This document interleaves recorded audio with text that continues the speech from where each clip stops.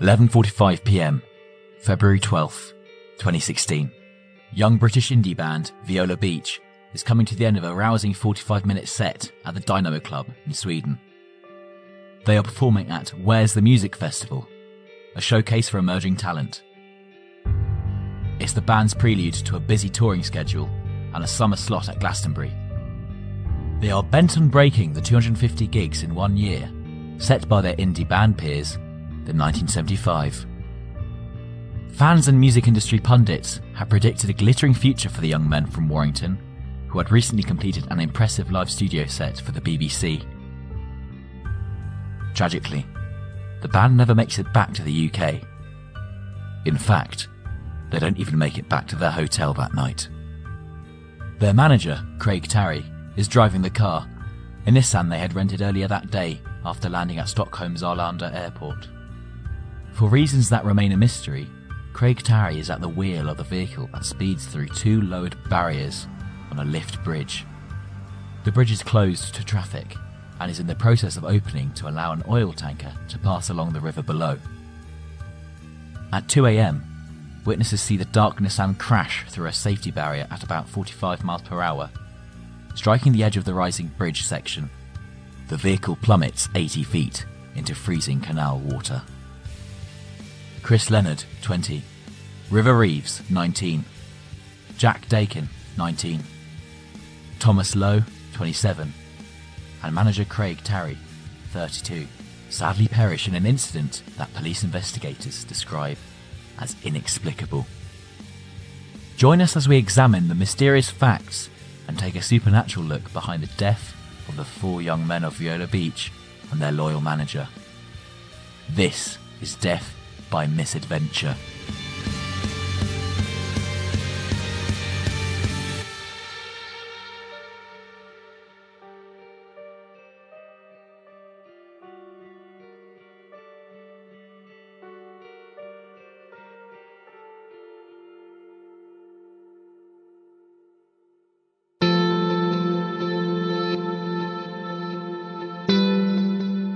Fully appreciate how tragic and inexplicable this incident is, we only need to look at the paths the band members took that enabled Viola Beach to be formed, and what led them to the festival in Norrköping on February the 12th, a trip that ultimately sealed their fate. It all began at the Lounge, a bar in Warrington's cultural quarter. Bar owner Adam Lawson becoming the catalyst for the creation of the band. Lawson had already met Thomas Lowe in 2005 at Leeds Music Festival. Lawson, then 21, stumbled across a 16 year old who found it necessary to carry the future liquor trade entrepreneur back to his tent. Lawson gave Lowe a job, and together they hammered their way through the former hair salon to create a thriving hostelry. Next on the scene was Chris Leonard. He too was given a job by Lawson Leonard had a friend, Jack Dakin. Dakin played the drums. Together, Leonard and Dakin started the band in 2013 with two others, Frankie Coulson and Johnny Gibson. They called themselves Viola Beach and recorded Chumley Brown in May 2014, produced by Sugar House at Catalyst Studios. That autumn, Coulson and Gibson left the group to go to university. The future of Viola Beach was uncertain until Thomas Lowe jumped at the chance to be a rock star. He already knew Leonard and Dakin from the lounge. In October, Leonard, Lowe, and Dakin recorded Cherry Vimto. A month later, they have swings and water slides in the bag, a two day studio session costing them £400. In early 2015, Viola Beach auditioned for a new guitarist. River Reeves, originally from Cornwall, becomes the fourth member of the band. Manager Craig Tarry joins soon after and introduces Viola Beach to professionalism, deleting all their pre-2015 social media and imposing a pre-gig two beer limit on the bright young indie stars. The BBC caught wind of Viola Beach. They described their music as infectious anthems with elements of slacker pop. The band is subsequently invited to perform on its music platform for new talent, BBC Introducing. A live session for BBC Radio 1 was followed by stints on the BBC introducing stage at Reading and Leeds festivals. Swings and Waterslides was added to the BBC Radio 1 playlist in September 2015. They released their second single, Boys That Sing, Like a Fool, on the Communion label on January 22nd, 2016. Despite the exposure and voracious appetite for gigging, funds are short, and this isn't helped by the closure of the lounge, an establishment that had proved so useful as a source of flexible income for the band members. Although they have a van, the gig fees Viola Beach command very often won't even cover the fuel bill. But family members and friends rally round with support, providing food parcels and monetary donations. Chris Leonard's mum lets them all move into an Edwardian property she owns. Thomas Lowe is given the £5,000 earmarked for his wedding, and the young guns have been paying off their purchase of their guitars using credit cards. Chris, Thomas, Jack, and River promise to pay them all back for their kindness when they are famous. That fame looked to be coming their way, only for it to be cruelly and so suddenly snatched from their grasp.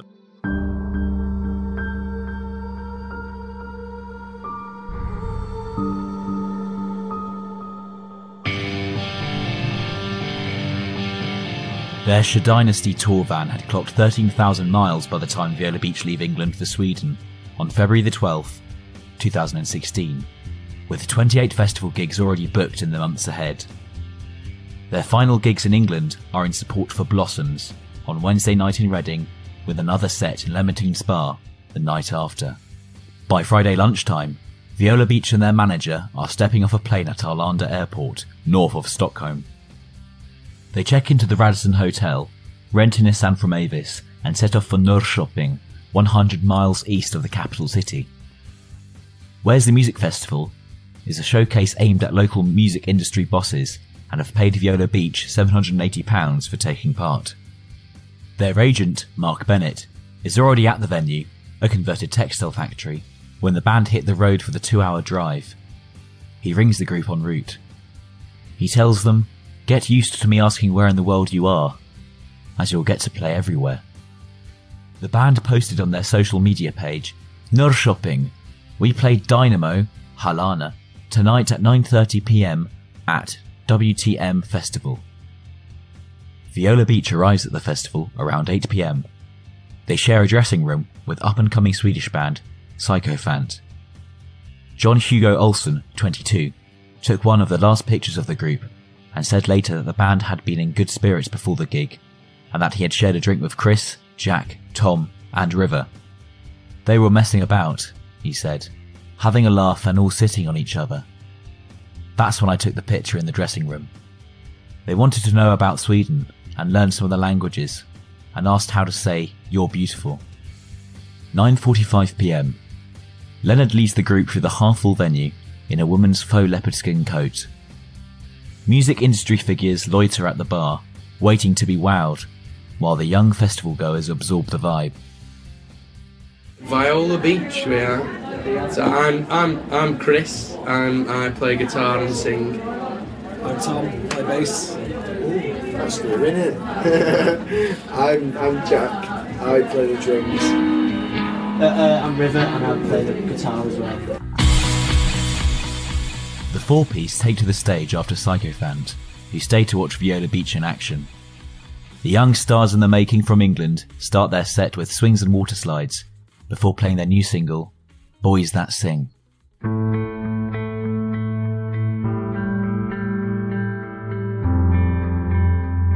They finish their eight song set with Cherry Vimto. Viola Beach's agent is cozying up to Folkert Koopmans, the founder of promoters FKP Scorpio. Koopmans is impressed by what he hears from the new British indie poppers. Every song here is a hit single, Koopmans tells Bennett, as the 30 minute set comes to an end and the charismatic Leonard lobs his guitar stand into the crowd. After the performance, Viola Beach joins the crowd. Olsen chats with drummer Jack Dakin. They were amazing, John Olsen reminisced fondly when interviewed. I'd never heard of them before, but I was really taken by them and their music. I was watching them and thinking, this will be the future. Olsen also chatted to manager Craig Terry. According to Olsen, Terry had not been drinking. A while later, Viola Beach is invited to an after party. They decline the offer.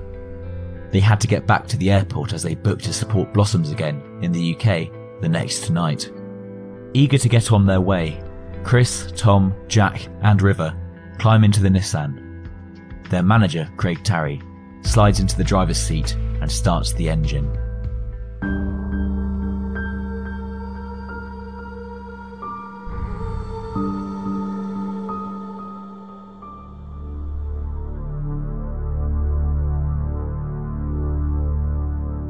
Here's what unfolded that fateful night in the early hours of February 13th. The canal runs between the lake and the Baltic Sea. Three bridges, one for rail and two for road traffic, provide land vehicles with a passage across the waterway. The canal has been constructed to carry vessels that are significantly higher than the bridge. Each of the bridges has an opening mechanism that rises from the middle. Red lights warn of the hazard ahead, one kilometer from the approach. Signs bearing a pictogram of a lifting bridge are illuminated, can be found along the highway closer in.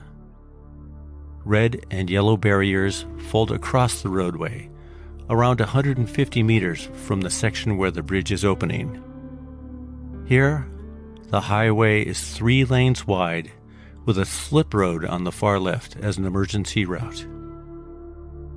It's 1:58 a.m. when the lift bridge over the canal begins opening. 2 a.m. The Nissan crashes through the first safety barrier at around 45 miles an hour, and then the second set of barriers at a speed in the region of 65 miles an hour. With the bridge rising in front of them, the black Nissan just keeps on motoring. The rising bridge has risen to just under five feet when the car strikes it and plunges 82 feet into the freezing water. A few moments later, a 125 meter long oil tanker runs over the wreckage. The captain views an object fall from the bridge as his ship is approaching, but crew members assume it is a large chunk of snow. They are given the green light to proceed after alerting maritime officials. 2:17 a.m. The bridge is lowered and traffic begins to continue its journey across.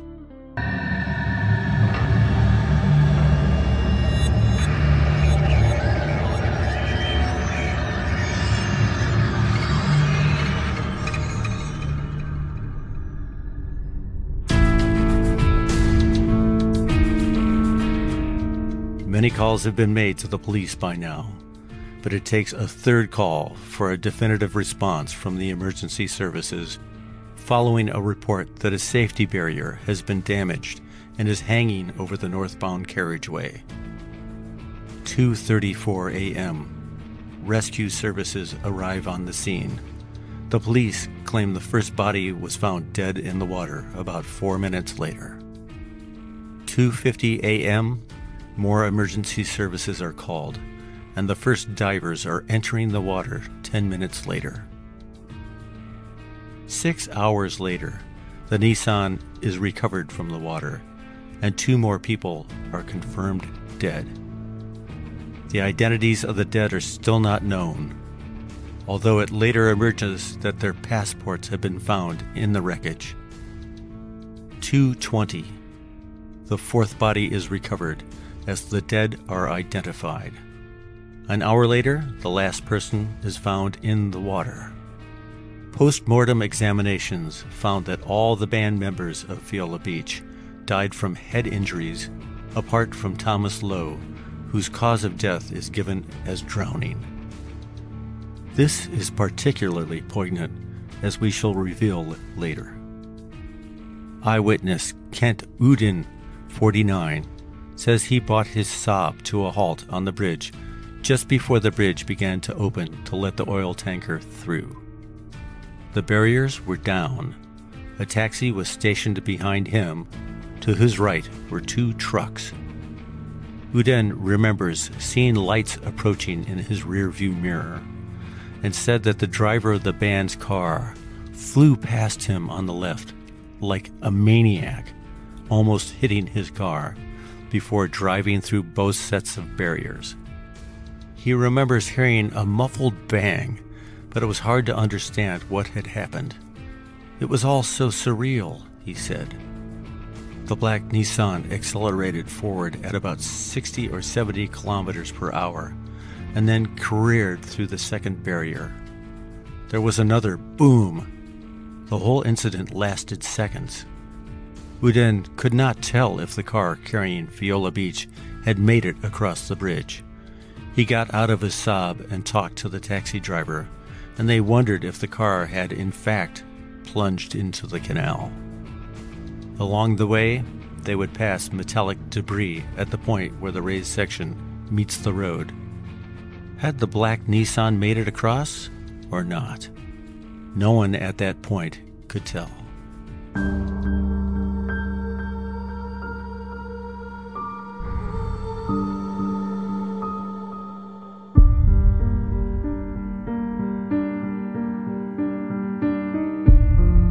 In the aftermath of the crash, Swedish police revealed they were looking at four lines of inquiry and post mortems had begun on the bodies.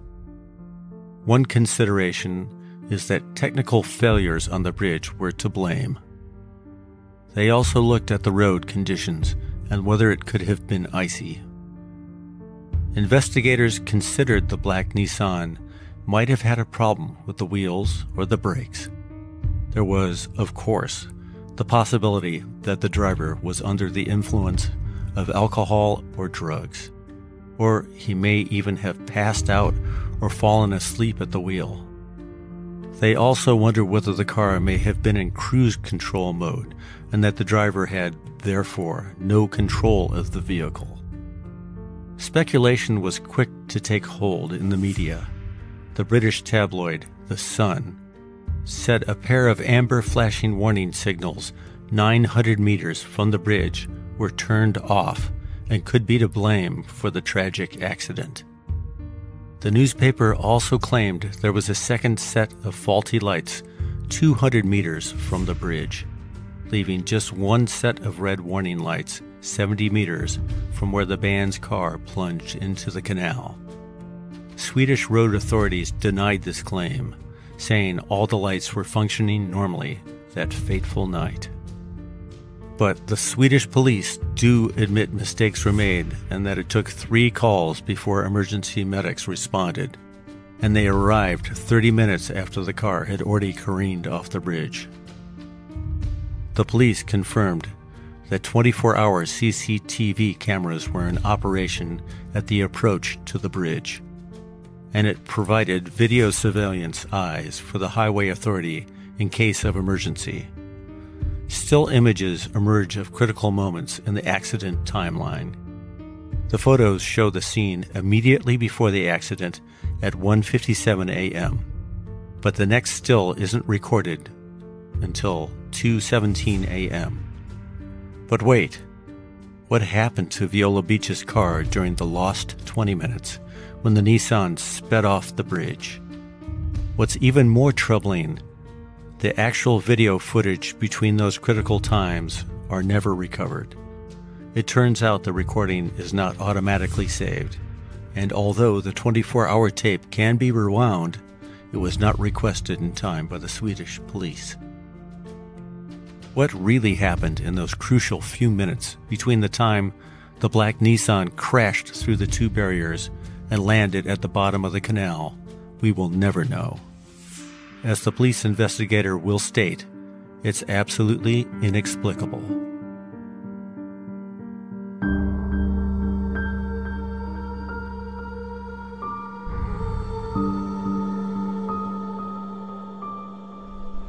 The next day, the news reported more information about the mysterious crash. The car that the band Viola Beach and their manager were travelling in was pulled from a canal near Stockholm in the early hours of yesterday morning. It had plunged down more than 80 feet into the water after crashing through a barrier on the motorway bridge. The Maritime Authority in Sweden says warning signs were in place and the barriers were down. An investigation is underway. The car passed through one of the barriers and then plunged into the canal. The bridge had been raised at the time. It is very tragic, of course. A police investigation is underway. We will look into what happened and hope to find out if something fouled technically as well, of course. But it's too early to say.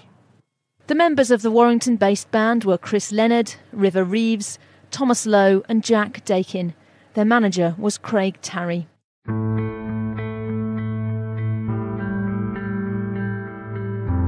Lars Berglund, one of the police officers investigating the crash on February 13th, told Sweden's newspaper Aftonbladet that the way the band's Nissan accelerated past two crash barriers as the bridge was rising might have indicated some intent.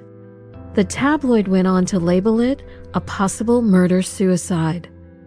The suggestion that the driver had deliberately driven off the bridge triggered a storm of protest and was quickly retracted. The newspaper apologized for their sensationalism.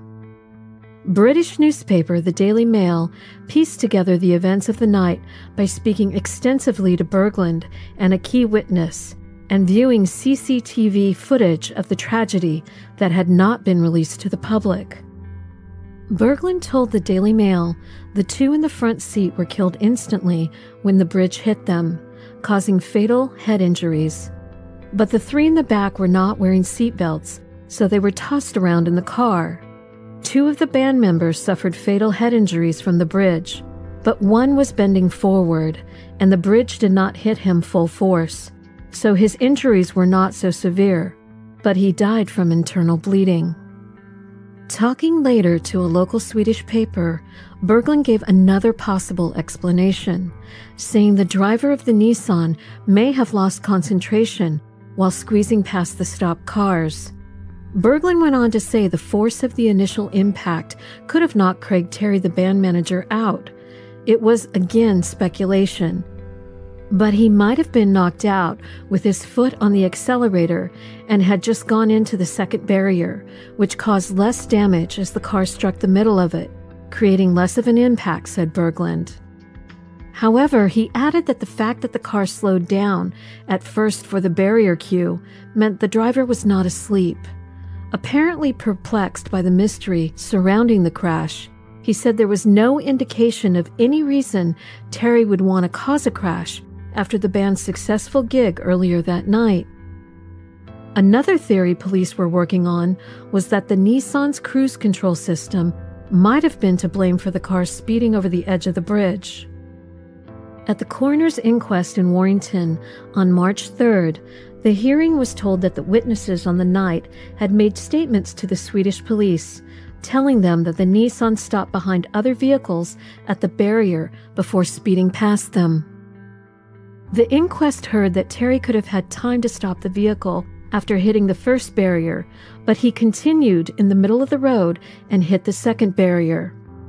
Police constable Michael Badley, who was sent to Sweden by the coroner to investigate the accident, told the inquest that Terry appeared to have complete control of the vehicle up until hitting the first barrier and had sufficient distance to react and stop before crashing into the bridge. The car was found upside down on the canal bed. Divers found Leonard in the front seat and Terry on the driver's side. River, Jack, and Thomas were all found outside the vehicle. They had been thrown out of the back seat of the car because they had not been wearing seatbelts.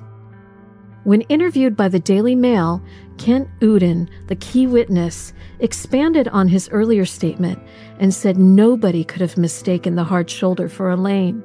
It was too narrow, and that he was astonished that the Nissan didn't hit his car on the way through. It was really scary how he did it, Uden said. It was at such a high speed that I could feel my car vibrate as he shot past. My first reaction was, this guy's a criminal, probably on drugs, being chased by police or even another car. I was expecting another car to come chasing after him. The Nissan hit the barrier just a few feet in front of me. The barrier was down. There was no doubt about it. But I didn't see any brake lights, and there was no hesitation. The normal reaction would be to stop the car, but it continued at the same speed over the bridge. Like, we're gonna make it, let's go. I heard the crash, then complete silence. In another twist, further speculation began that maybe the driver was trying to beat the bridge. The band's hometown of Warrington has three swing bridges crossing the Manchester Ship Canal. It is reportedly common for drivers in the area to try to speed across the bridges when they're about to be raised. People began to wonder is this what the bandmates of Viola Beach and their manager were attempting at 2 a.m. on February 13th? The band was due to fly back to Britain early the next day. Maybe Craig Terry was in a rush to get back to the hotel so they could all get some sleep. But none of this explains why the driver did not stop the car when he could see the four foot gap in the bridge ahead. Perhaps he wasn't in full control of the car. Could it be some other force was propelling the vehicle forward? Had the black Nissan been taken over by some supernatural entity? Had fate decided this was their time, and despite the best efforts of the men inside to prevent it, this was going to be their end? Does the fact Thomas Lowe was 27 years old have a bearing on the demise of Viola Beach and their manager the night before Valentine's Day? Had Thomas Lowe unwittingly taken his bandmates and manager with him to the infamous 27 Club.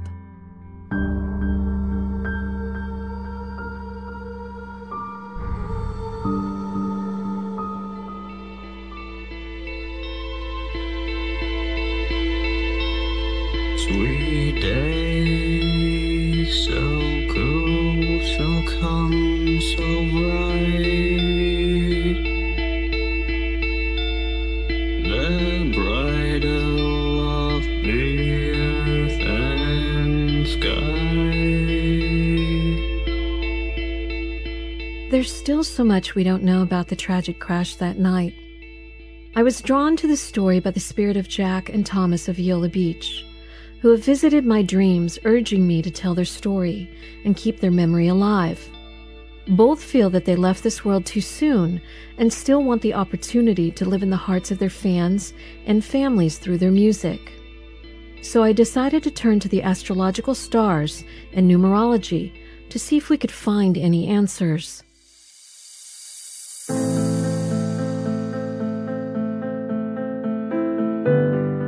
On February 13, 2016, the moon was conjunct Uranus in unpredictable Aries. Aries is a fire sign that represents impulsive action. It's bold, daring, and self determined. When unchecked, this energy is aggressive and can make one feel emotionally attacked. Astrologers look at an individual's birth chart to explain or predict events by analyzing the inner workings of the individual. Accidents are unplanned and unforeseen. An accident is precisely that an unexpected event, or is it someone's predetermined fate? How are accidents written in the stars? As explained in Rex Bills' modern classic, The Rulership Book, these sudden and seemingly random events are ruled by Mars and Uranus. When we look at the cause of death in astrology, we need to look at the sixth and eighth houses on a natal chart. The sixth house usually shows us diseases, which may lead to death, and the eighth house is concerned with the actual cause of death. Sometimes, however, we need to look at both to get an accurate picture of how or why someone has died. With this thought in mind, I will take a look at the natal charts of each member of Viola Beach. Craig Terry. Unfortunately, the stars were not aligned on February 13th for band manager Craig Terry. He was born on September 6, 1983, according to his Facebook page. Although he had Sun in Virgo, his moon was in dramatic Aries, along with the day of the accident. Leading to a sudden onset of emotional volatility and several other unexpected factors that caused the Nissan to drive off the bridge that night into the freezing canal water. Jack Dakin was the drummer of Viola Beach and was born on March 19, 1991, under the sensitive water sign of Pisces. He was a creative soul. If we look at his eighth house, which is associated with death, we can see that he had Neptune, god of the sea, and Uranus, planet of surprises, in this house. This indicates that his death would have strongly been associated with water, and also it would have been a result of a shock or surprise, rather than a slow downward spiral, such as a chronic disease. Sadly, this appears to have been exactly true for the young drummer, and no one could have predicted he would meet such a violent and unexpected death in Sweden that night. There is certainly a lot of watery imagery going on in the astrological charts of the members of Viola Beach, and this continues when we look at guitarist River Reeves, whose name alone appears to show an eerie prophecy along with his other band members. He was born on December 14, 1996, under the adventurous sign of Sagittarius, and his eighth house was ruled by the sign of Scorpio, which is also the sign of death. And although it doesn't indicate an early demise on its own, it does show that his accident would be linked to water in a foreign country. Kris Leonard was the charismatic lead singer of the band, born on February 6, 1996. He had Sun in Aquarius, making him a free thinker and something of an offbeat character who would have found it easy to inspire others with his words and music. If we look at his eighth house, we can see that he has Sagittarius and Pluto. When we look at the cause of his death, Sagittarius often indicates a fall from a great height, which is what exactly happened to the lead singer when the car he was traveling in plunged over the side of the bridge in Sweden. Last, we have Tomas Lowe, the bass player of Viola Beach, and he was born on May 1st, 1988. He was a Taurus and he had a rising sign in Leo, which is the perfect combination for a bass player his rising sign made him a natural and charismatic performer, and offstage he had a down to earth personality, which made him an important and valued member of the band. His chart also shows that he had Pisces in the North Node in his eighth house. When we look at the cause of death in the eighth house, Pisces, the sign of the fish, usually indicates accidents in water. This is exactly what happened that fateful night when he drowned in the freezing canal water and it took over an hour before emergency services arrived to the scene of the accident. Another factor to consider is Tomas Lowe was 27 years of age at the time of his death. In astrology, the 27 age marks a turning point for individuals who are astrologically about to enter their Saturn return. In astrological lore, Saturn is the great taskmaster of the skies, and it means you need to get your act together or the universe will release an emotional storm in your life to force you to make significant changes.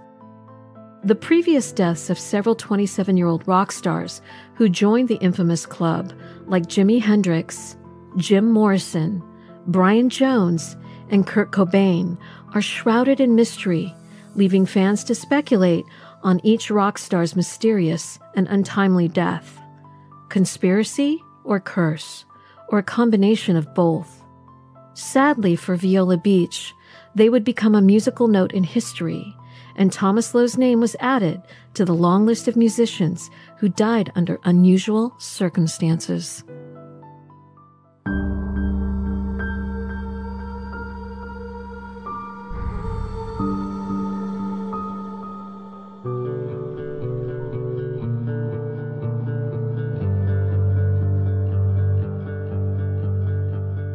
What numerological significance of Viola Beach's life path number and karma play in the band member's death on the day of the crash?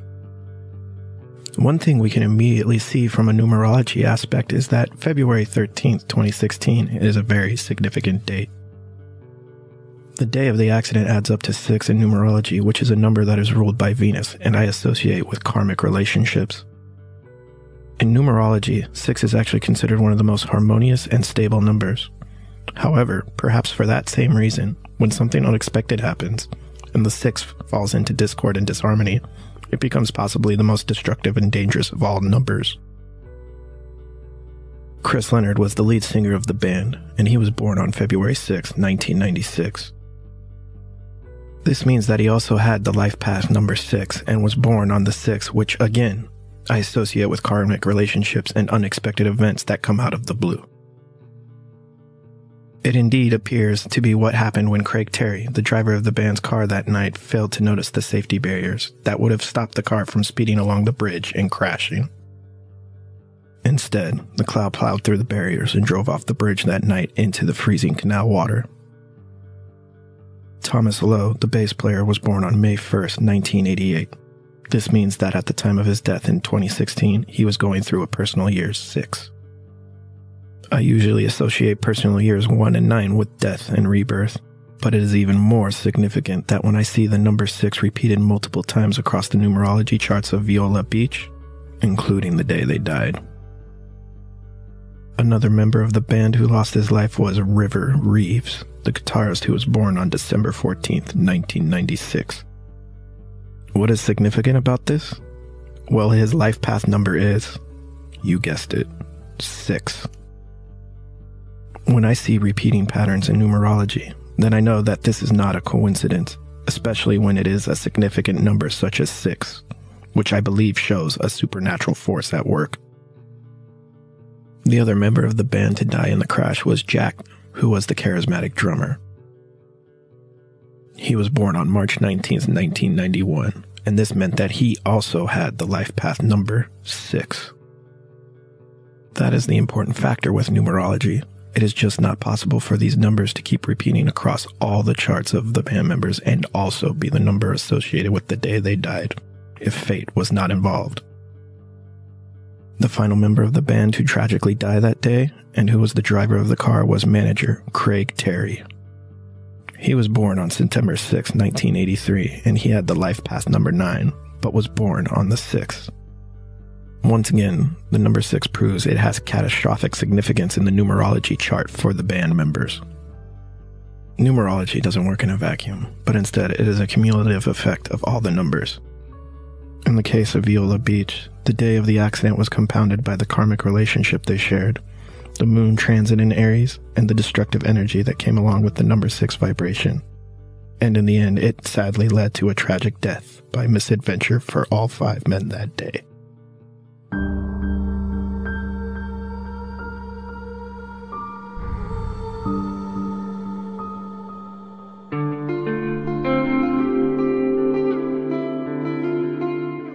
Young lives ending too soon is always profoundly tragic. No parent wants to outlive their children. And when they also happen to be budding rock stars in the making, the tragedy seems somehow heightened. An immediate mythic status envelops them. They become iconic overnight. Viola Beach had not even been signed to a label when their careers came to such a shocking end but they had their own indie label and their infectious buoyancy and love for music. It was felt by everyone who knew them. Their zest for life was plain for all to see.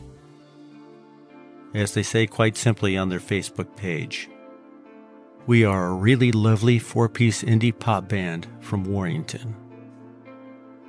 After the crash, a statement from the families of the band said, we are tremendously proud of everything the boys achieved in such a short space of time. Craig, Jack, Chris, River, and Tom shared a huge passion, talent, and dedication to music. Tributes were also paid to Mr. Tarry, who was described as a man of unshakable optimism and a passionate Manchester City Football Club fan. Tributes were made at the Lounge, the club where they began their careers. And Warrington Town Hall flew its flag at half mast in the week following their deaths. The band had recorded songs for a six track EP, which was originally scheduled to be released in 2016. When asked about the possibility of further recordings being released, the band's agent was quoted as saying, There's a lot of music, a lot of demos, a lot of amazing songs. It'd be great if it got out. But now, Everybody's still grieving.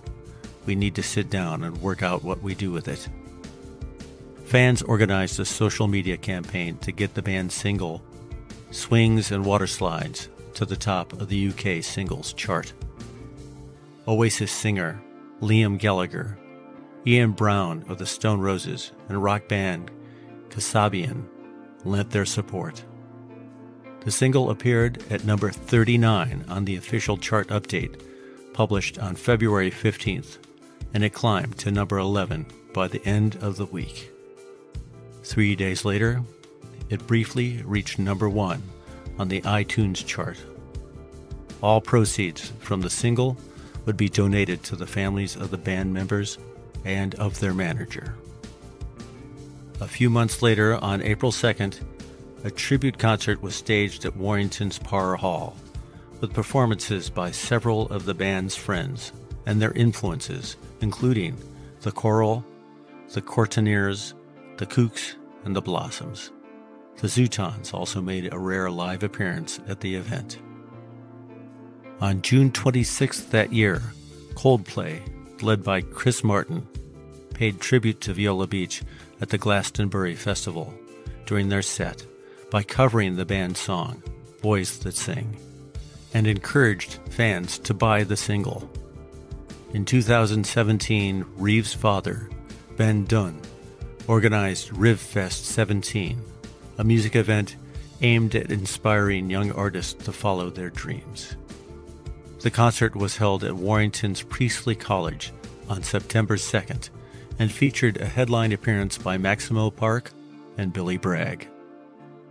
In 2017, the self titled posthumous studio album containing nine tracks by Viola Beach was released in the United Kingdom on July 29th by Fuller Beans Records, the band's own label.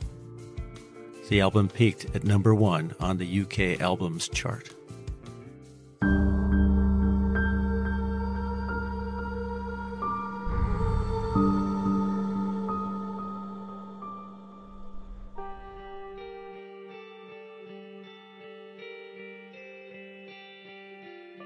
A young death is a loss of innocence and makes all of us feel vulnerable.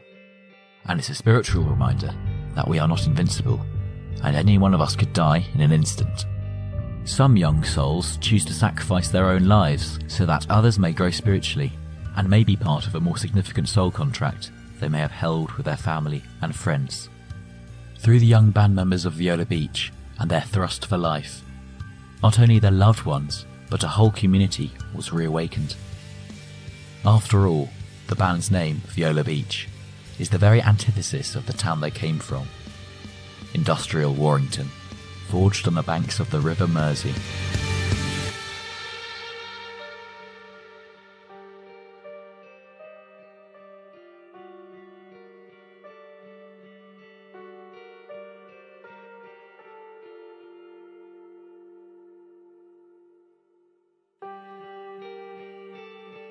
Death by Misadventure was produced by Cosmic Media and written by me, JC Nova.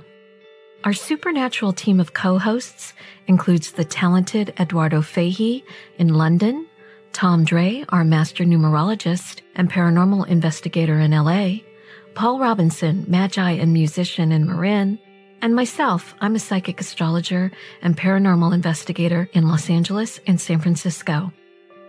This episode was recorded at Robin Sound Studios in Marin, California, and also at Union Recording Studio in West Hollywood, California.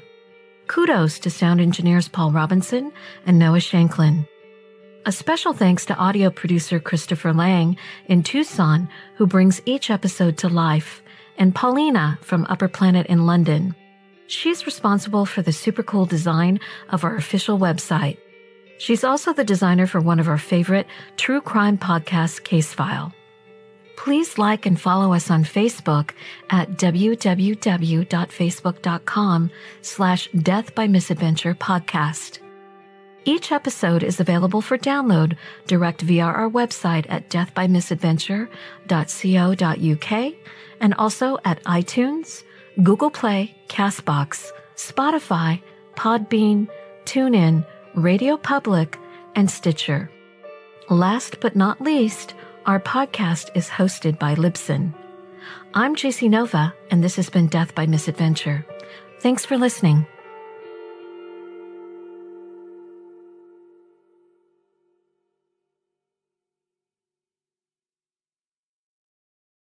What if the key to a successful marriage was a deadly secret? Hulu presents Deep Water, starring Ben Affleck and Ana de Armas.